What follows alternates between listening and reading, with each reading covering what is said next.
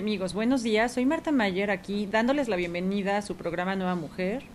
Feliz de iniciar esta semana que está un clima lindo, como que fresquito y al mismo tiempo quiere salir el sol, con un tema muy interesante y sobre todo ahorita que ya viene la época de invierno, pues a todos nos gusta de repente ahí apapacharnos con cosas sanas y saludables.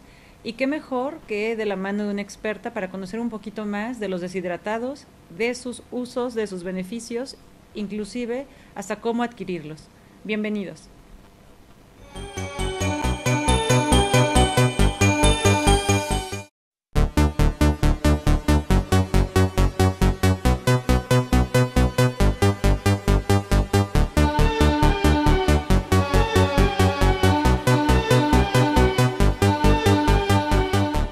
Pues aquí estamos completamente en vivo con Sharon, que es nuestra invitada de lujo. ¿Qué tal, Sharon?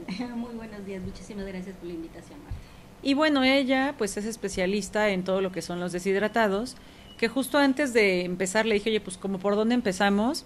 Y la realidad es que todos, o sea, antes de irnos hacia los deshidratados muy sanos que actualmente se pueden encontrar, hemos conocido la carne deshidratada, el pan deshidratado, etcétera, etcétera, que se vende por todas partes. Inclusive en muchos lugares lo usaban como método de conservar los alimentos, sobre todo en épocas de invierno.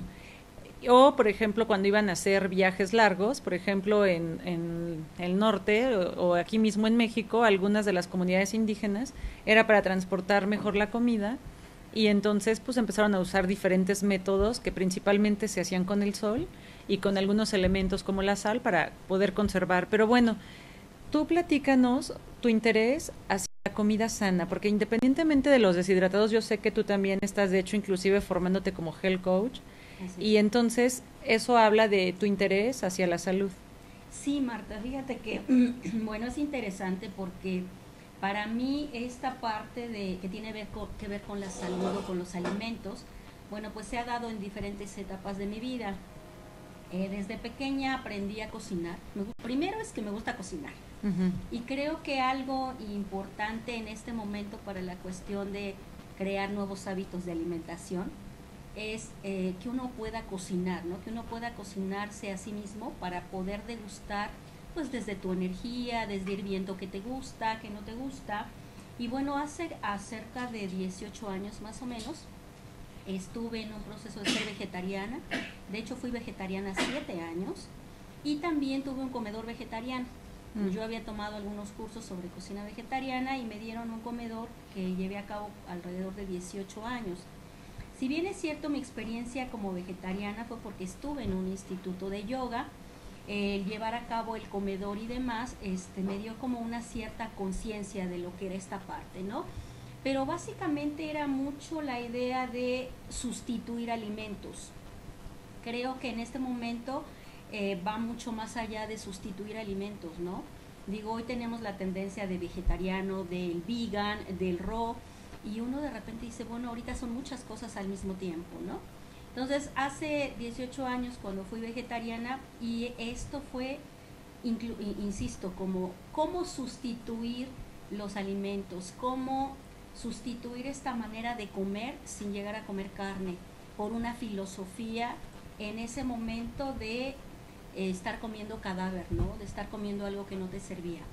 Hoy para mí el, el el concepto va mucho más allá, ya que vemos incluso al vegan que habla sobre este rescate de la dignidad de los animales. Como ¿no? acotación, bueno, el vegan es lo, todo lo que escuchamos como vegano, uh -huh. que es no consumir nada de origen animal, más que por la parte espiritual que muchos antes lo hacían en el yoga, pues por no tener la vibración del espíritu del animalito, por todas las sustancias que pues sueltan cuando los están matando, etcétera, etcétera es una postura ética de no estar eh, utilizando, eh, además de comiendo, o sea, nada más usando cosas de origen animal. O sea, no nada más es comerlas, también es usarlas, inclusive hasta la miel de abeja, ¿no? Porque finalmente vienen de un animal.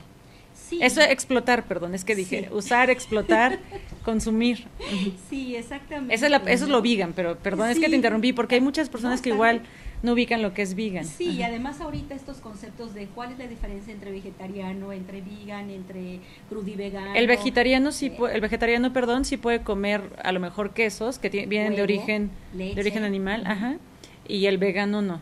El, el raw es todo lo que es la comida cruda. Exactamente, ¿no? Incluso ahorita ya lo que se refiere al, al vegano es desde no usar incluso, ¿no? Lo que es cuero dentro del vestido, el zapato. El otro día estaba yo, dije, mira, ya, ya hay zapatos vegan, ¿no? Y ya se está promoviendo todo esto. Entonces, como que ser congruente en esta manera, ¿no?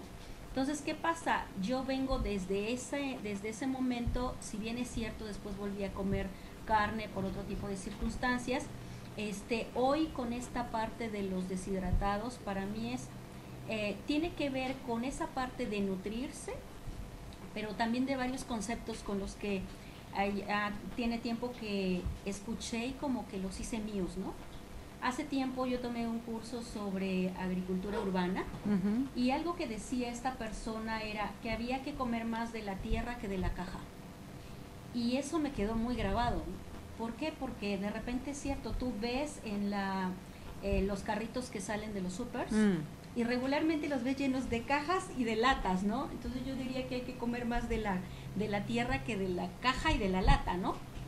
Y todo se ha convertido en conservadores eh, tenía eh, Claudio Hall decía el otro día, ¿no? Que el ser humano nos volvimos tan soberbios que empezamos porque eh, como que hacer las cosas más fáciles, ¿no? Y finalmente pues hemos ido al extremo, sobre todo en la parte de la alimentación, ¿no?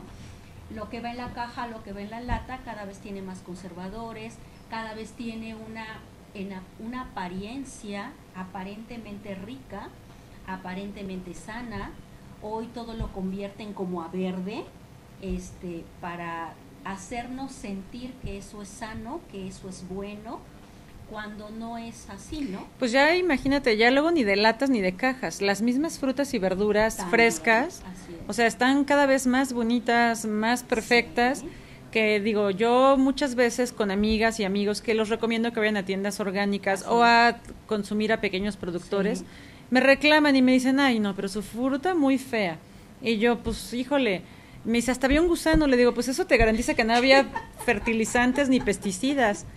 Y, y, no, no, no, o sea, hay que, pues sí, tener un poquito más de atención en eso. Sí, sobre todo algo que comentabas ahorita, ¿no? O sea, sí es cierto, vas al súper y ves las manzanas así como lustrosas, pero bueno, ¿cuánto tiempo te duran, este, incluso fuera del refrigerador? Dos meses. Dos meses, tres meses, y eso, ¿por qué no preguntarse, ¿por qué dura tanto, no?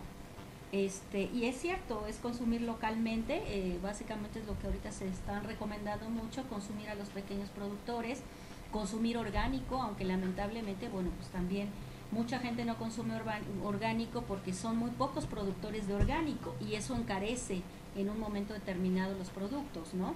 Pero tratar de consumir local yo creo que es adecuado. Entonces te digo, esa, esa cuestión de hay que comer más de la tierra que de la caja me llegó muy profundo. También otro concepto que me llegó muy profundo es que había que comer comida viva.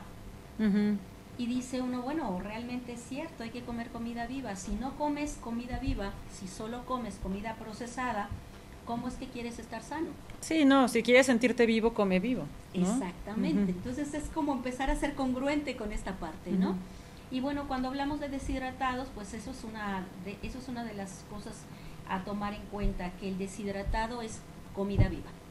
En, en, este caso, bueno, los deshidratados es fundamental el proceso. Ah, bueno, acotación, tus deshidratados. Ah, bueno. Porque hay otros deshidratados que, que no, la carne está deshidratada, ah, sino. Por supuesto, ¿no?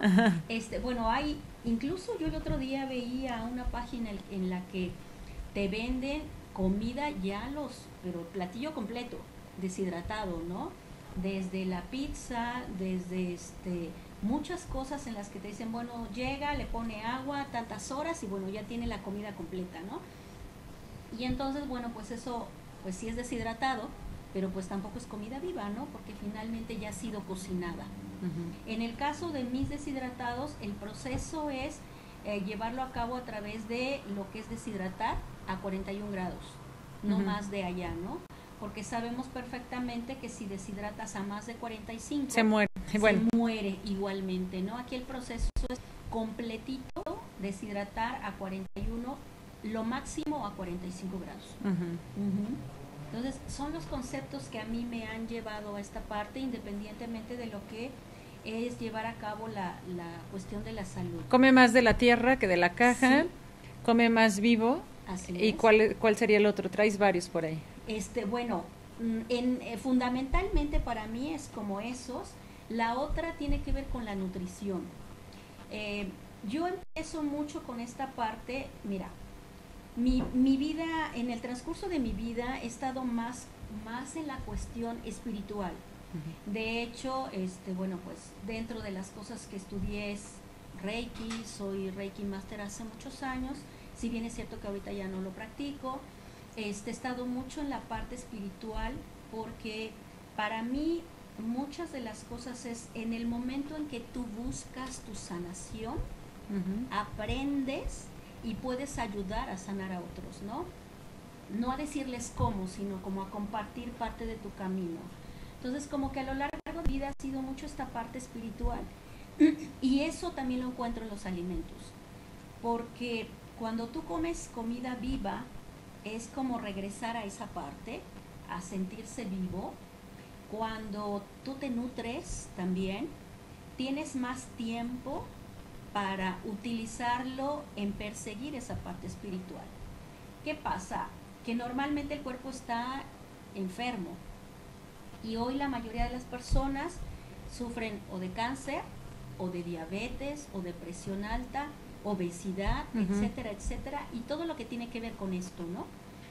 Pero ¿por qué? Precisamente porque el cuerpo no está sano, porque el templo sagrado a través del cual se manifiesta el espíritu, que es este, que es nuestro cuerpo, pues no está sano. Y es parte de lo que me ha llevado también a esta parte, el poder a, través de nutrir el cuerpo, recuperar esa parte y tender a la parte espiritual. Si el cuerpo físico no está sano, pues cómo puedes conectar con esa parte, ¿no?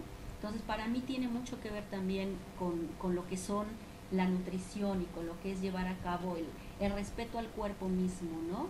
El recuperar la alegría a través de lo mismo y como que son muchas cosas. Sí, claro, bueno, decimos mucho el cuerpo físico como templo del espíritu, pero realmente tratamos a nuestro cuerpo como templo o lo tratamos ahí como bodeguita eh, de que le cabe todo el tilichero de cochinada, ¿no? Así es, y es desde cómo nos alimentamos, ¿no? Finalmente algo de lo que yo hablo y que realmente eh, puedo constatar, porque ya me, así me pasó, es que la mayoría de las personas no buscan nutrirse, sino llenarse, porque eso es lo que el cuerpo primero pide, ¿no? Ya cuando te llenaste, entonces ya busca otras cosas. Pero ¿qué es con lo que regularmente nos llenamos? Pues con tortas, con tacos, con tamales, con algo que pese, ¿no? Porque llena un vacío. Sí, que finalmente eso también está hasta inclusive metido en nuestro lenguaje, o sea, buscamos llenarnos y no nutrirnos. Exacto. Pero bueno, pues vamos a ir un corte y ahora regresando vamos a ampliar un poquito más la información.